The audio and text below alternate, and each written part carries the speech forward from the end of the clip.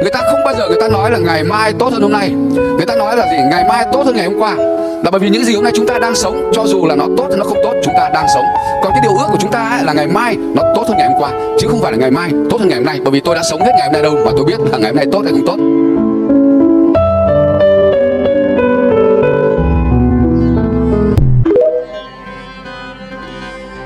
Nước mắt mà chảy ra từ con mắt đó là thứ thường thôi. Có những giọt nước mắt nó chảy ra không diễn tả bằng hành động khi chúng ta sinh ra, đói, chúng ta khóc. Chúng ta đi học, chúng ta bị ăn hiếp, chúng ta khóc. Lớn lên chút xíu đi ra đời làm việc, bị người ta đì hoặc là có một cái gì đó bất công, chúng ta khóc. Yêu vô, chúng ta cũng khóc. Bồ giận, chúng ta cũng khóc. Sau này á bắt đầu già đi á, chúng ta không còn đủ năng lượng mà không còn đủ nước mắt để khóc nữa. Từ đó, cái giọt nước mắt mà nó rơi từ con mắt ra, nó chuyển hóa thành những cái vết thương ở bên trong lòng của mình. Và chúng ta cứ bị dây dứt, bị tổn thương bởi vì những cái giọt nước mắt bên trong đó. Thật ra khi con người đã mang quá nhiều tổn thương, Thì luôn có vẻ bề ngoài cứng cỏi. Ngoài mặt thì luôn vui vẻ, Nhưng đâu đó lại có những khoảnh khắc, Chỉ cần một cái chạm nhẹ vào nỗi đau ấy, Thì cũng đủ làm rưng rớm nước mắt. Đó không phải là mau nước mắt, Mà thật ra, họ đã cố gắng mạnh mẽ quá lâu rồi. Không có con nào làm mình khổ bằng con người. Phải không? Con thì nó cắn mình, đau chút mà chúng ta thường nói đau như kiến cắn. Phải không? Còn con người mà nói một câu thì mình sao? Đau cả đời cả kiếp. Chúng ta trên đời có ba cái ngu. Cái ngu thứ nhất là cái đáng biết thì không chịu biết. Cái ngu thứ hai là gì? Cái không đáng biết thì lại muốn biết. Cái ngu thứ ba là gì? Biết mà biết không rành. Cũng là cái ngu.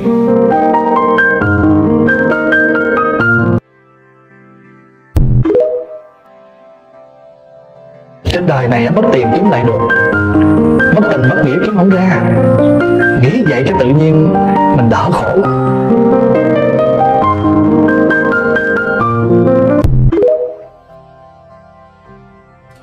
Năm câu nói nghe thấm, ngẫm lâu. Một, bạc vàng biệt thự xe hơi, chỉ là những thứ đồ chơi rẻ tiền con ngoan chồng giỏi vợ hiền, mới là vô giá, núi tiền cũng thua. Hai, anh em trong họ rất gần nhưng không qua lại lâu dần thành xa người ngoài lui tới vào ra buồn vui chia sẻ cùng ta thành gần ba, anh em muốn mãi trọn tình thì nên tiền bạc phân minh rõ ràng. Thà cho nhau cả núi vàng, làm ăn chung trả một ngàn cũng chia.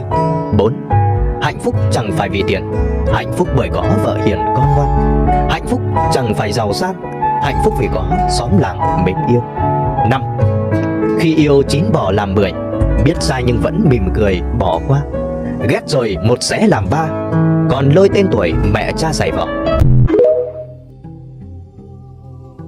Bản chất con người cứ giống như nguyệt thật cứ tưởng là có thể che mờ đi mọi thứ. Nhưng mà rồi tất cả cũng sẽ lộ ra thôi.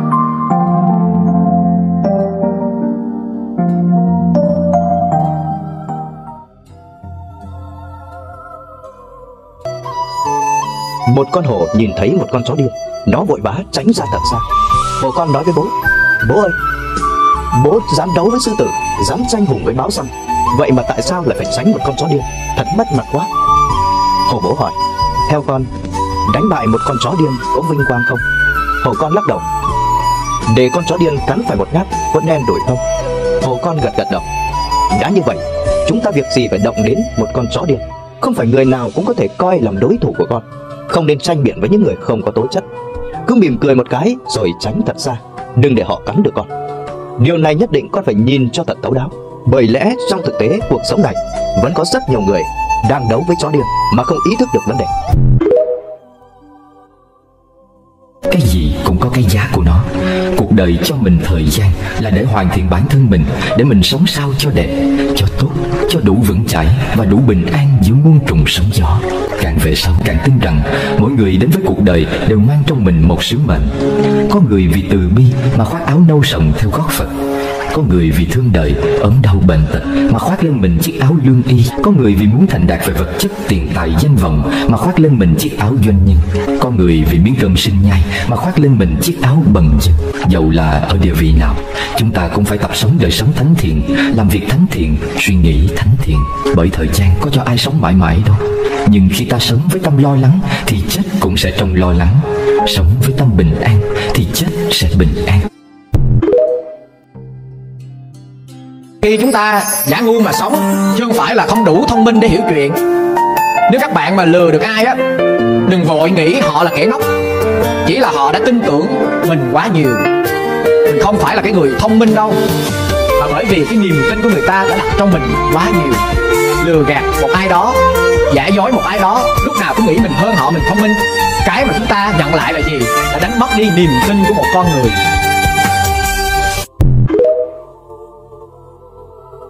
Ra đời đi kiếm tiền, mình ngu một tí, mình khổ một tí, chịu thiệt một tí, thì người ta mới thương, thì mới dạy cho mình được dù mình có khôn hơn người ta thật, nhưng mình vẫn cứ phải giấu kín.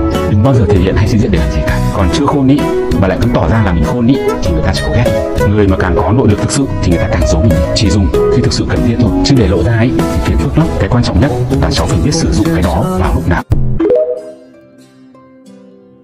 đừng bao giờ cho mình là đủ giỏi, tại vì mình còn rất dở, mình mới trầy trật như vậy đó. Xong sau thì tĩnh lặng, mà lúa chín thì cúi đầu đúng không? Nước chảy rất rất nó rất là cạn. Xong nó sau, lúc nào nó cũng tĩnh lặng, có người mà có bản lĩnh, họ vất cực kỳ điềm đạm, ít nói, nhưng mà họ rất là nội lực.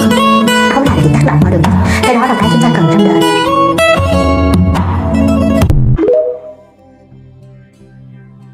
Đừng bao giờ trách móc bất kỳ ai trong cuộc sống của bạn. Người tốt sẽ cho bạn hạnh phúc. Người xấu cho bạn kinh nghiệm. Người tồi tệ nhất cho bạn bài học. Người tuyệt vời nhất sẽ cho bạn kỷ niệm.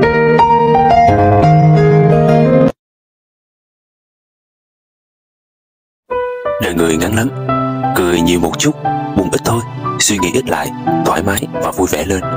Bởi vì bản thân đâu biết ngày nào chính là ngày cuối cùng được thức dậy nhìn thấy mặt trời đâu. Thời gian chưa chắc chứng minh được nhiều việc nhưng chắc chắn sẽ giúp bạn nhìn thấu được lòng người và nhiều thứ khác. Cái gì cũng chỉ được một thời gian. Chân thành trân trọng cũng không khống chế được lòng người. Suy cho cùng, tim mình đặt ở lòng ngực mình mới là an toàn nhất. Đời sầu, nửa đời âu gầm gành mưa gió nửa đời người chợt nhận ra tuyến rơi bên khung cửa sổ Trò đời lắm chuyện thị phi, Nhiều người rảnh rỗi cứ đi buôn lời. Đặt điều nói xấu khắp nơi, Hại người hại bạn tả tơi cửa nhà. Họa từ cái miệng mà ra, Phúc cũng từ miệng giúp ta xung vầy. Tốt xấu xuất phát từ đây, Chớ gieo khẩu nghiệp mai này khổ thân. Khi người ứng xử ân cần, Giống người có xấu dần dần nhận ra. Nếu người không thích ba hoa, Lặng im không nói chính là cách hay. Lời nói tuy rằng gió bay nhưng gây đau xót trong ngay lòng người. Kẻ nói thì cứ vui cười, người bị đau khổ gấp 10 khi xưa. Vậy nên khuyên người nên chừa, đừng gây khẩu nghiệp nói thừa nói thêm. Tịnh khẩu sóng gió êm đềm, trời yên biển lặng, người thêm hài hòa. Ngẫm rồi mới thấy đúng. Người sống có tình nghĩa thì dù không có cùng máu mủ cũng hóa gần. Người sống bất nhân bất nghĩa thì dù là ruột thịt cũng muốn tránh cho xa. Quả là đúng như vậy. Tôi chỉ sợ những người sống tốt với mình thôi, Vì không biết phải trả cái tình cái nghĩa đó cho họ như thế nào. Còn với những người sống tệ với mình Thì dễ mà. Họ có như thế nào thì cũng chẳng đáng để tâm đến. Những câu nói nghe để sáng mắt ra. Đừng dùng miệng của mình để can thiệp vào cuộc sống của người khác. Đừng dùng đầu của người khác để suy nghĩ về cuộc sống của mình. Người ta cho rằng sống một mình thì rất cô đơn.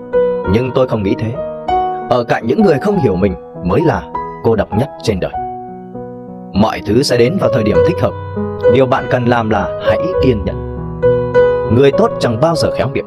Kẻ xấu lại toàn nói lời hay. Nhưng hãy nhớ rằng Hiền lành, thật thà thì trời thương. Gian manh xảo trá thì trời phụ. Đừng bao giờ lừa dối người khác Bởi vì người mà bạn lừa dối được Đều là những người tin tưởng bạn. Và niềm tin một khi đã mất đi Không bao giờ quay lại được như lúc ban đầu. Có ba loại người là bằng hữu của ta. Người yêu ta, người ghét ta và người lạnh lùng với ta. Người yêu ta làm ta thấy ấm áp Người ghét ta khiến ta cẩn trọng Và người lạnh lùng dạy ta cách tự lập.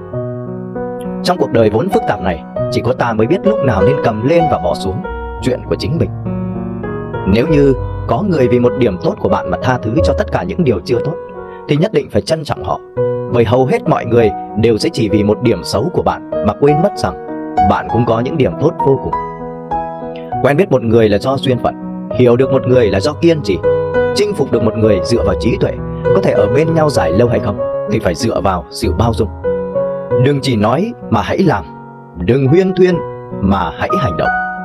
Đừng hứa mà hãy chứng minh. Đừng phụ người đã từng giúp đỡ bạn, đừng hận người đã từng yêu bạn, đừng lừa dối người luôn tin tưởng bạn. Muốn thương nhau thì phải hiểu nhau, muốn hiểu nhau thì phải tin tưởng nhau, muốn tin tưởng nhau thì phải thật lòng với nhau. Trước khi trả lời, hãy lắng nghe. Trước khi hành động, hãy suy nghĩ. Trước khi quở trách, hãy đồng cảm. Trước khi bỏ cuộc, hãy thử lại. Trước khi cầu nguyện, hãy tha thứ.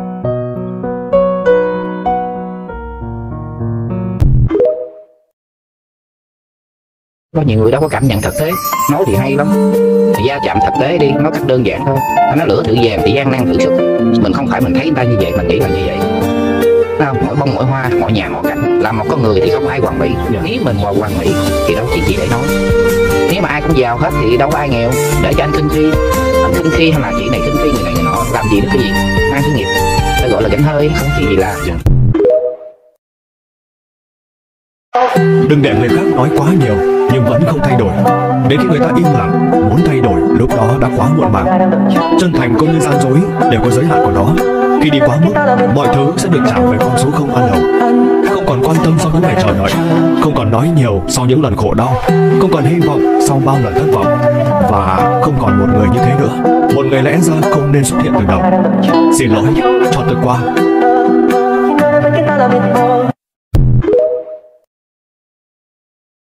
Tôi rất thích một câu nói này.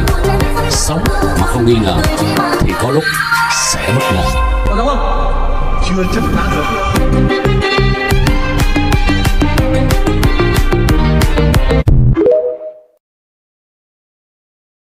Mỗi buổi tối trước khi đi ngủ Hãy tha thứ cho tất cả những người Và những chuyện đã làm con tổn thương.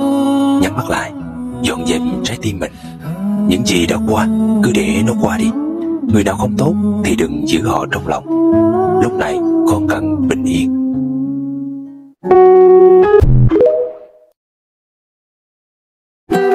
Điếu thuốc tàn còn nơi để gạt Tình đã nhạt biết trôi giạt về đâu.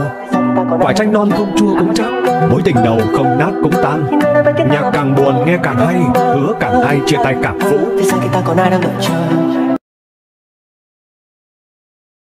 Những câu nói đáng suy ngẫm của các nhân vật phản diện thế kỷ một, Người đầu tiên đặt chân lên mặt trăng là Neil Armstrong. Vậy người thứ hai là ai? Không ai biết và chẳng ai muốn biết. Nếu anh không đứng đầu, thì chẳng có ý nghĩa gì cả. Hai, Kẻ sống sót trên chiến trường chỉ là những kẻ mạnh và thằng hèn. Thực tế thì anh hùng luôn luôn chết. Ba, Tiền không là tất cả. Nhưng con người có thể làm tất cả vì tiền. Bốn, Đằng sau mọi tài sản kết xù đều là tội ác. Năm, Trong một phòng họp, Tên to mềm nhất luôn là tên dễ tiêu diệt nhất. Nhưng tên mà suốt buổi chỉ ngồi im và gõ tay lên mặt bàn, Thì anh phải cẩn thận với hắn. 6. Trên đời này không có người tốt, chỉ có những thằng khờ không biết làm việc xấu. 7. Chúng mày dừng cái việc kiểm tra xem có con quỷ nào dưới gầm giường khi nhận ra rằng chúng nó ở chính bên trong bọn mày. 8. Trên đời này không có người tốt và người xấu, chỉ có quyền lực và những kẻ quá yếu đuối để có được nó. 9. Nếu mày giỏi thứ gì, đừng bao giờ làm nó miễn phí. 10. Khi người thắng, người không cần giải thích. Nếu người thua, người cũng không nên giải trình. 11. Ta thà phụ thiên hạ, chứ không để thiên hạ phụ ta. 12 là một thằng đàn ông, có những thứ không ai cho mình, thì mình phải tự giành lấy nó. 13 muốn chỉ những thằng đầu gấu, thì phải có thằng đầu gấu hơn mới có thể chỉ lại. 14 chính nghĩa sẽ chiến thắng ư. Đương nhiên, kẻ nào chiến thắng, kẻ đó là chính nghĩa. Cuộc đời này nếu không lên xe cưới thì cũng lên xe tang. Hai chuyến xe đều lộng lẫy huy hoàng. Nhưng xin thưa với các vị Hiện chúng ta về một niềm vui và một niềm thương ở trong cuộc đời này. Các vị nên nhớ nha Xe cưới thì màu đỏ, xe tang thì màu trắng. Dầu là màu gì đi chăng nữa Thì chúng ta cũng phải bước tiếp trên cái chặng đường luân hồi sanh tử này. Dù chúng ta có buồn, nước sông vẫn chảy Chúng ta có buồn, mây trắng vẫn bay. Cuộc đời này vẫn theo lối cũ của tuần hoàn. Chúng ta buồn thì chúng ta chỉ đứng lại giữa cuộc thế mà thôi. Nhớ nha các biệt một lần xe cưới, một lần xe tang, chúng ta còn cái hơi thở ngày nào, gắn công niệm phật ngày đó, để một ngày ra đi, chúng ta sẽ được an nhàn tự tại. Không cần đợi ai đến tiễn đưa, không cần tang thương trong những giọt nước mắt, mà chúng ta cũng nhẹ nhàng thanh lương để xả buông cái cuộc đời này gió từng nào gặp may từng đó cái ông phước của mình cỡ nào thì mình sẽ gặp cái người tốt cỡ đó. Cho bây giờ mình thấy uh, mình có nhiều cái à, trắc trở trong tình duyên nhiều cái không như ý quá chứng tỏ là phước mình mỏng mà nghiệp mình dày thì mình phải bồi thêm cái lối sống tích cực hàng ngày mà tạo phước thêm như ngồi thiền đọc sách nghe giảng tập thể dục. Giờ không có tiền bố thí thì làm không quả á. Cho mình phải cải thiện mình phải nâng cấp mình lên từ cái đời sống à, kinh tế sức khỏe cho tới cả những cái giá trị tâm linh và đạo đức thì như vậy chúng ta mới có thể có cuộc sống bình an hạnh phúc được.